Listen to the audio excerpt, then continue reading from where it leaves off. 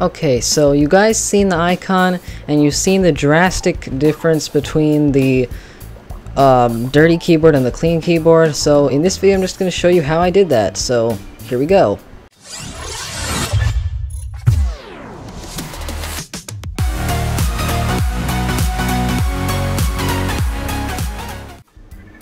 Okay, so first of all, let's just look at how dirty this thing is. It's just covered in dust basically, and all the keys are yellow. The yellowness can be easily fixed with, um, uh, what's it called, Retro Bright, but the dust we're gonna have to clean. So let's start doing that, I guess.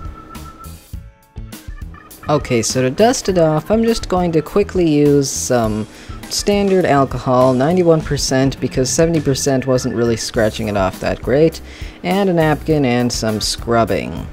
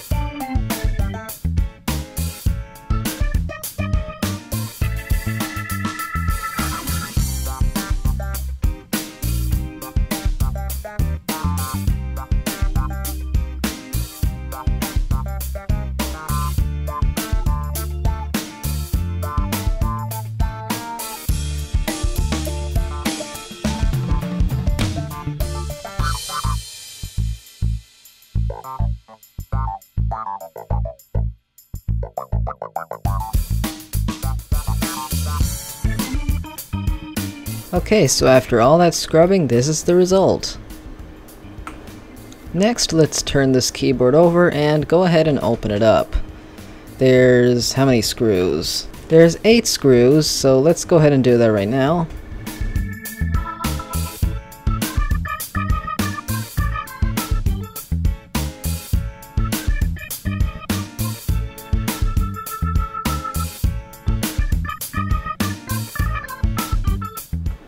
After we got all those screws off, now let's go ahead and pry it open. Be careful, because some stuff is going to fall out after you open it, so be very careful not to lose those. Okay, having a little trouble here. Why aren't we able to open this? Ah, there we go. I missed the last screw. There we go. That came off pretty easy. Now, see that pad there? That's what we gotta be careful about. Under that pad are the rubber cushions to get the connection between the um, keys, the keycaps, and the buttons.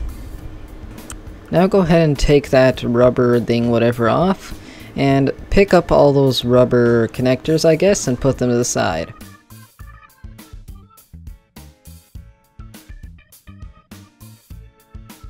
Let's give this keyboard one more wipe. Now let's turn the keyboard over and we gotta take these keycaps off.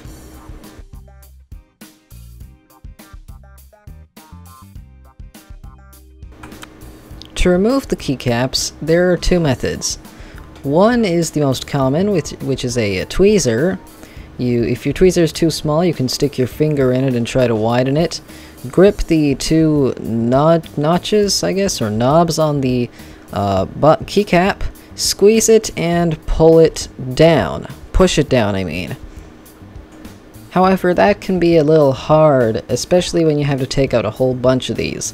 So the second method is simply sticking a screwdriver or something into the middle here and pushing with all your force and it falls down. Uh, it actually is pretty easy, you just gotta keep pushing it at a rapid rate so it doesn't uh, get too hard. Okay, now flip this thing over again and Oh my goodness, look at all the dust that's in there. That thing is so dirty, that's disgusting. It looks like there's rat's nest or something in here. Anyways, we gotta clean this up.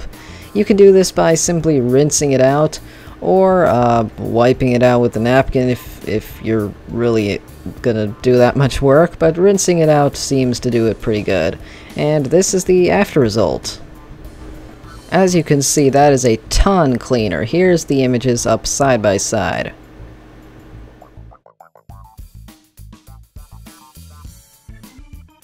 Oh, and by the way, while I was letting that keyboard dry, I went ahead and rubbed the cable with some alcohol and Oh, look at how much dust came off that. Anyways, now it's time to put all those keycaps back on. Uh, I actually forgot to say, but before pulling all these keycaps out, you should take a picture of the keyboard so you know the layout. That's what I did at least. Uh, referring to the image you you took, referring to the image you took earlier, go ahead and put all the keycaps back on.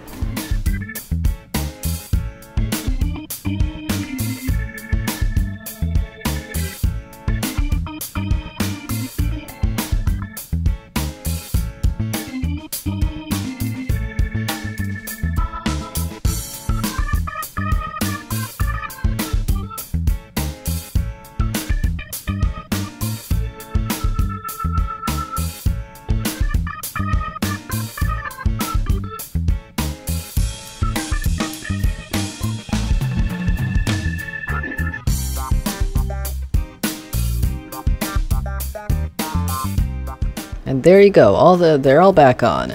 Now we got to flip this over and put all those rubber pads back on.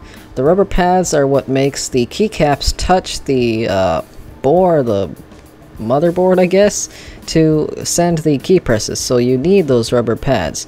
Make sure you didn't lose any of them, and make sure every key has one.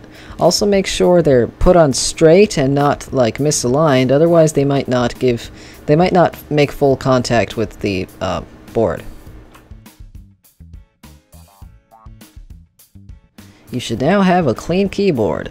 Here's a before and after from the very beginning when it was all, all nice and, and, and yucky, I guess. And here is the after where it's all nice and clean.